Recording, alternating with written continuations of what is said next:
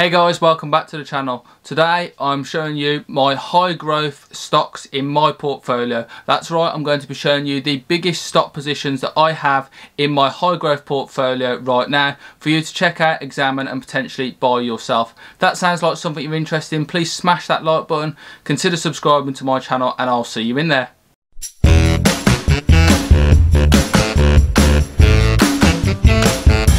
Hey guys, welcome into the video. So the first company we're looking at today is Hyliion Holdings Corp, ticker HYLN. This is one of the first ever SPACs that was out there and is a disruptor to the trucking industry that's going to use renewable gas and electrification of trucks to ignite the trucking industry essentially and they could also use um, hydrogen later on down the line. They're a direct competitor to the Tesla uh, Semi and the uh, the um, Nikola truck as well. So I'm very interested in this company. We have a few institutional holders, uh, one direct holder. Uh, there is not a great deal of short interest in this company to be fair only 8% of the float. Share price has been absolutely hammered at the moment down to $13 from its high pre-SPAC where it was $55 a share. How uh, we do miss them days. Current market value is 2.3 billion but I'm not really concerned about that. I've got a lot of faith in this company long term. I believe that it is going to be a significant disruptor to the truck industry and it is the one that has the answer. Renewable natural gas is the big answer here. Hyliion has the answer. The infrastructure for renewable gas is in place whereas hydrogen it doesn't exist yet and electrification of trucks is a bit of a struggle as well because there, there isn't the charging points for them. So analysts seem to think that this is a uh, a decent performing stock at the moment, but it's not an ideal time to buy into it at the moment. So it's more of a holding position at the moment. Uh, some hold it as a buy, but moreover it is a hold. My opinion, the share price is an absolute bargain at the moment at $13. You can easily top it up quite easily. I'm a little bit down on this position. I hold 71 shares, but I'm not fussed about it, holding this one long and strong. The next company that I'm in is NIO. No surprises here. This company has lit up the world essentially as a direct competitor to Tesla. Market cap is 65 billion. Current share price is $43 a share. Lots of institutional and mutual funds holding this one just to name a few. You can have a look there. Uh, there is BlackRock fund advisors hold a few shares and then we've got some big direct holders as well holding six and a half million shares there as well. Short interest has came down to around 3%, 6% margin, not too bad at all. Uh, the financials stack up pretty well as well. If we look back on 2016 to now, we have a really strong growing trend. A the cash flow side of things is pretty good as well. They've got plenty of cash to invest further as well. Research ratings, 11 buy ratings from currently, still 11 a month ago, 6 holds and just the one sell position. So that is the lowest it's been for a little while. The price target there is a median of $450. I think that is obviously wrong for the moment. That a low of 116 and a high of 588. Whether we'll get to that from $43, that's a big, big, big sweep. But over the long term, I certainly see it going that way. Our next company is Salesforce. Salesforce is a fantastic customer retail retention management system. The ticker is CRM. It's a fantastic company that all, all round helps companies maintain the customer base that they already have.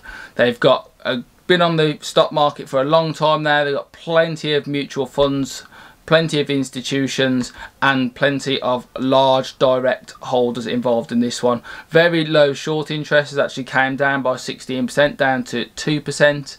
Lots of shares outstanding. Market cap 192 billion. This company turns over a heck of a lot of money. Recently filed to acquire Slack as well, which I believe is a great thing going forward. If we have a look at the sales growth from 2017 till now, you've gone to 2021. It's going absolutely fantastically well for this company. The growth is incredible, 25% year over year. Gross income increasing as well nicely. Plenty of money being made by this company and they still have plenty of cash as well. Though there will be a, a significant dent coming up soon because they're going to have to pay for purchasing Slack.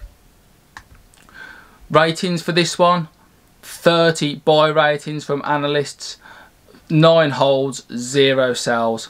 Price target is a average of $275, quite a long way from where it is now, and a high of $336. Very, very bullish on this stock indeed. Absolutely fantastic. What a great company this is. And then last but not least, we are talking Tattooed Chef. This is the biggest position in my portfolio. I hold nearly £1,000 worth of this company. Brought, bought for an average share price of about $16 a share. I have a lot of faith in this one going forward. Current market value is 1.8 billion. Share price is $20. Has uh, re recently reported earnings doing particularly well as well. We have plenty of mutual funds holding this company already, even though only recently dispat last year. Plenty of institutes as well, and then we have a couple of direct holdings as well. Really like the look of this company. Uh, share so short interest is slightly up, 21% change recently, 6.8% of the float. Nothing to be too concerned about there, really, in my opinion. The company and its fundamental fundamentals stack up perfectly, really, really well. Um, if we quickly look into their last report, we got revenue of 148 million, which was a 75% increase on the prior year. Absolutely fantastic. Net income increased over the same. And the company is sitting on over 200 million dollars in cash to run a marketing campaign and expand their product range and expand their uh, production even further. And they have no significant debt to write off at all essentially. So they've got all that money to all that money to spend on advertising and continuing to grow revenue. This company could be worth billions and billions of dollars, tens of billions of dollars of in just a few short years time and that's exactly why it features so highly and so heavily in my portfolio. And the researchers on this one, the analyst, just the one rating at the moment with an average price of $23.50 and a high of $26. So $6 above where it is now.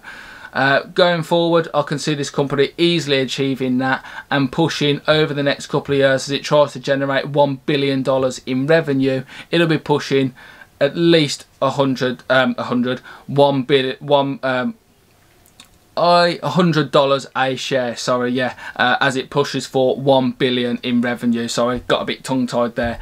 So them are the biggest positions in my portfolio. Hyliion, I'm going to have to be a little bit of a bag holder on for a little bit, little while. Happy to do so with that one. NIO, again, going to grow massively over the coming years. Uh, Salesforce, always going to be necessary. Recently acquired Slack, absolutely fantastic as well. Tattooed Chef, as I've mentioned, going to going to absolutely turn into a Goliath company.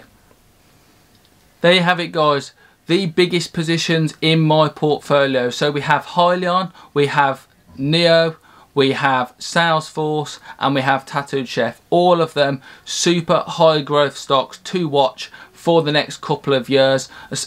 Hyliion might not do anything overnight and the others are just going to tick along and grow nicely over time. Takes time to build a phenomenal business and all of these have got the potential to keep generating huge revenue and then paying that back to shareholders through increased share prices. Absolutely fantastic companies.